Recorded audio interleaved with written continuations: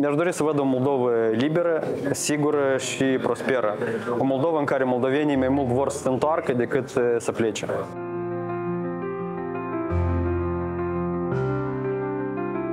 Compania s-a născut la intersecția unui vis mare.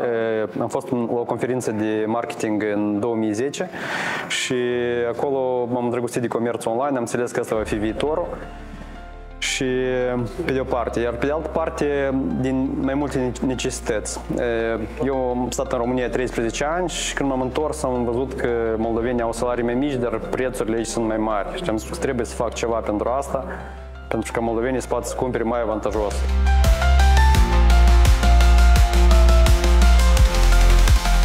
Am vrut să ajung în Uniunea Europeană în 2002, dar la ambasadă m-au refuzat atunci și după aia Uniunea Europeană a venit la mine, eram în 2007 la București și când România a intrat în Uniunea Europeană m-a prins acolo.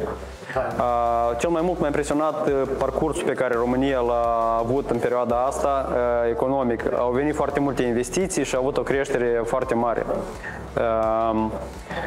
Călătorind mult prin Europa, mi-a plăcut, mi-a plăcut mai mult să văd cum poți să călătorești dintr-o țară în alta fără frontiere. Mi-a plăcut stilul mai liber, mai degajat al oamenilor, nivelul de viață care e mai crescut și libertatea de circulație a capitalului.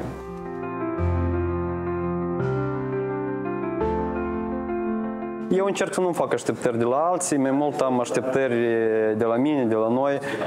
Sperăm că vom parcurge cu brio acest proces de integrare și că vom valorifica la maxim oportunitățile pe care procesul de integrare ne le pune la dispoziție. Uniunea Europeană oferă foarte multe oportunități, atât până la integrare cât și după, dar trebuie să știi să le valorifici.